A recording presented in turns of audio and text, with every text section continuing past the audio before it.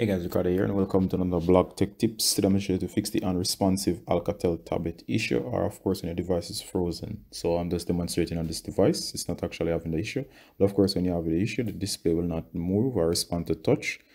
And of course the device will be unusable. So in order to fix this, go ahead and locate your volume down button and your power button. So you're going to hold both.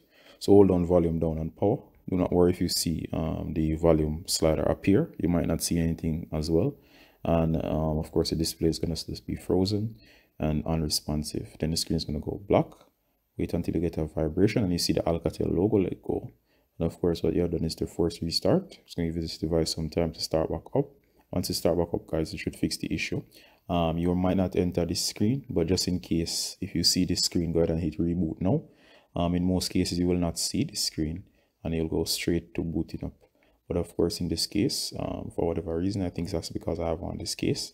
I'm just going to tell it to reboot now. And once it reboots fully, it's going to start up and I'm going to should um, have the device back up and it should be working as it um, as flawlessly as normal. All right, so it's going to give it some time to start up and you can expect this on almost any tablet, not only Alcatels, to apply to even phones. So if you have any Android device, is a common issue that tend to appear after a while, especially if your device has been on for an extended period of time. It's always a good idea to reboot your device from time to time.